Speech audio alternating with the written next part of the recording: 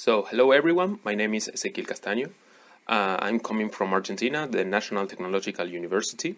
Um, this is more or less a proof of concept of a new domain for hybrid Bayesian networks. So, first of all, let me introduce the outline for today's presentation. So, first, we will introduce the motivation and the problem formulation. Then, which model do we exactly use? So, the model specification. Then, we will move to the results and finally, some conclusions and future steps. Let me say uh, right from the start that all the code for the figures and even the data collection are provided at the end of the presentation. So if you want to reproduce the work, it is already possible right now. So first, let's talk about the motivation and the problem formulation. The idea behind this research is to identify some change point in time where the audience behavior changed. So uh, that could be uh, either increasing, decreasing, or changing trends, whichever behavior that the audience had before the, a particular change point, and it's different after that, that same uh, change point. Right now, we are working with a constrained scenario where we are only considering one change point. Uh, one additional constraint is that this problem is framed in really sparse data sets. So we are working with very few data points and the data between the data between those two points is really sparse. So we don't have big data in this case. And the idea behind this is to get new insights from what, uh, at least by a human, there are no visible uh, patterns or changes. So for achieve this goal, we selected a stable YouTube channel. So this is an educational YouTube channel called Infinite Series. It's mostly about math. And the idea is that this channel is already shut down, so there are no new videos coming. And this is, this is really important because it uh, makes uh, it means that the data we have right now will be more or less the same in the future uh, and there won't be any influence from new videos into the old ones. We will consider some basic variables, namely the views, the likes, the dislikes, and the comments, to try to train or fit the model we propose. The idea is to do as least pre-processing as possible or leave the data as untouched as possible so that the model can learn from the very raw data what the how the audience uh, wants or how it behaves. So the basic methodology was to collect some data, then do some basic exploratory data analysis, and if the results were good enough, we go to the model specification, and in case some validation metrics are met, we can continue with the inference and some visualization. A key component of all this research is the interpretability of the results. So we are not work we are not working towards a good uh, accuracy or a good um, or a low error, but rather to be a, being able to interpret properly the model and the parameters of that model. So that being said, what had we done for the basic exploratory analysis? So first of all, in YouTube we have the so-called viral videos phenomena, and this means that some particular videos got a lot of attention, immensely more than the rest of the videos. So if we just look at the box plot of the data, we can clearly see here that we have three videos in this channel that went viral, and these accumulate most of the variance of the whole dataset. So right now we are dealing with the constraint scenario, so we will simply remove those points and it's left as a future work to being able to incorporate those in the same model. Here we can see the same box plots, but with those points removed. And the spread is more similar to what we will ex expect from the data. Then we check the correlation between the variables. In this case, uh, the correlation was really high, more than 0.5 in all the possible combinations, and therefore we decided that we will go only with the number of views. This was uh, selected, or the, the number of views was chosen because it's the easiest to interpret, and it's also the number that presents the most variability. So it will give both advantages to the interpretation and also to the model to be fit. Um, in a future step, we will also consider how to incorporate more complex variates. Finally, we will use the time series. Uh, we plot the time series to see whether a human can detect some change point. So this is a completely non-supervised approach because we don't know exactly whether there are some change points or not. We are not providing the model with any additional information. And here we can clearly see there is a decreasing, slightly decreasing trend, but there is no change point where we can say, okay, from this point on, the behavior changed it in, in, in a way or another. So gaining some insight, whatever it is, for the model, for the data, would be already useful for us. That being said, what we chose for the models is hybrid Bayesian networks. Bayesian networks are a sub uh, field inside probabilistic graphical models, and the fact that the, they are hybrid, they mean that means that they incorporate both continuous and discrete variables. In this case, the, each uh, Bayesian network can be specified in two ways, both with formulas, so mathematically on the, on the left, or by a directed acyclic graph on the right. Both are the same, although with the graph we lose uh, the, um, the distributions of the variables. Here we will have a tau, which is uniformly distributed from 1 to n, being those the number of bits we have, and this is a discrete uniform distribution. And the idea is that the observed variable x, which is the number of views, will follow either one of two distributions. In this case, the idea is to use the same distribution for both before and after the change point.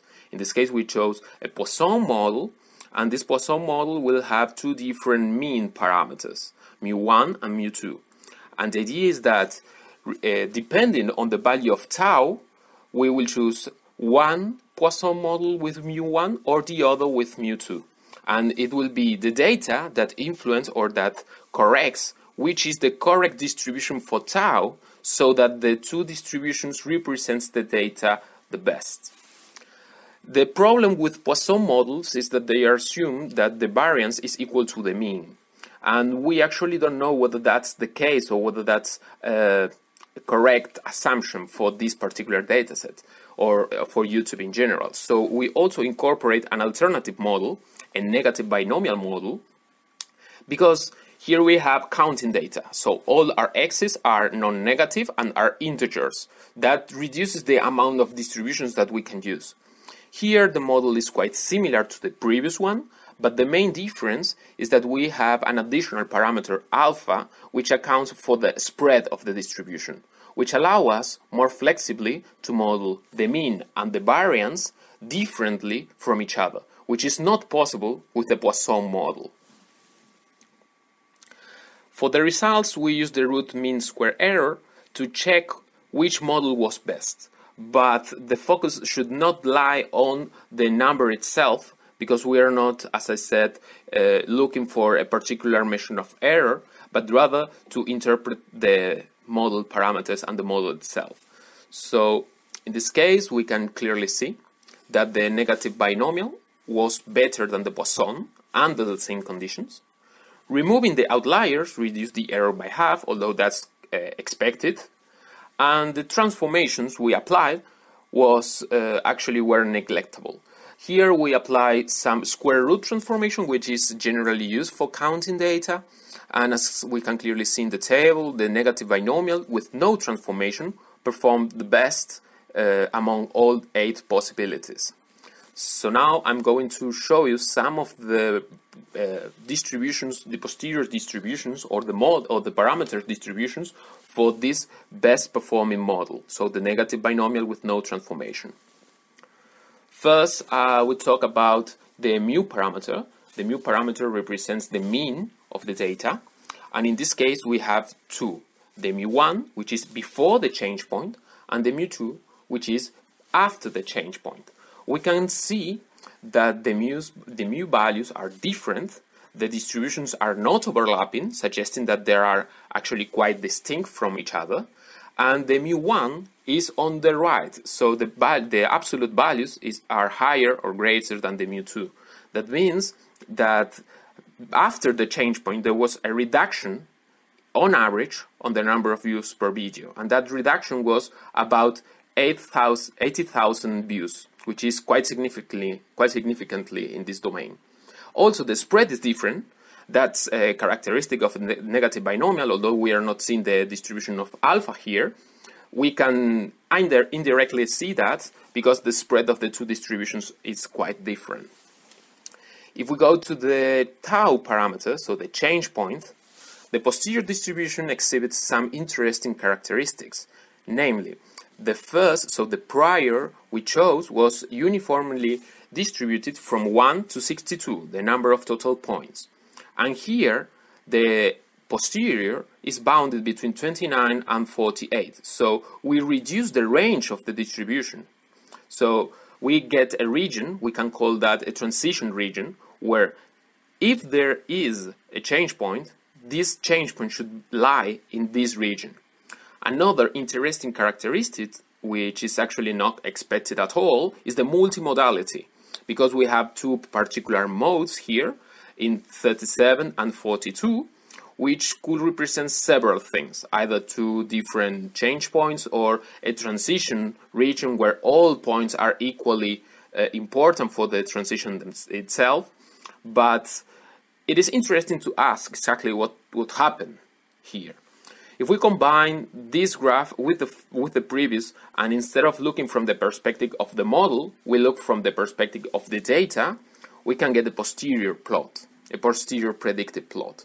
And here we can see the blue dots are the original data points, and the dash black line is the expected number of views uh, given the model we fit, we fit.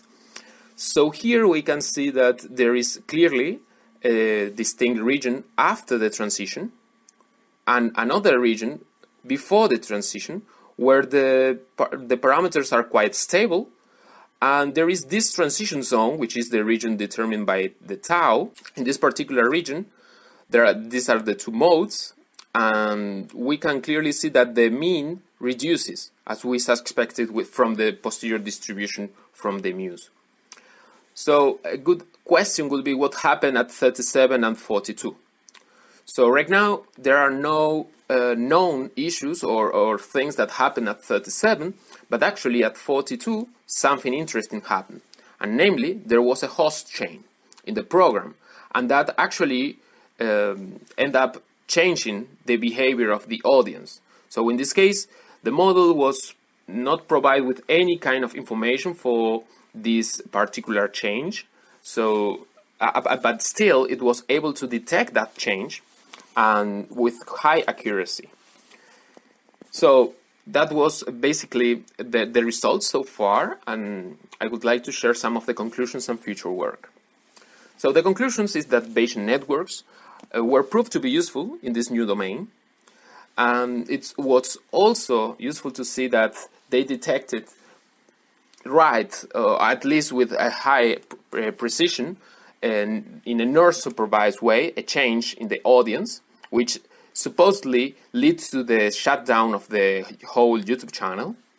And another important remark is that these results were good or, or good enough even with very few data points, in this case only with 62, which is particularly important today where all uh, models uh, currently uh, in, in trending are using big data and we, we need a thousand or hundreds of, of data points or even millions of data points. Here we can reach pretty insightful conclusions even with less than 100 points.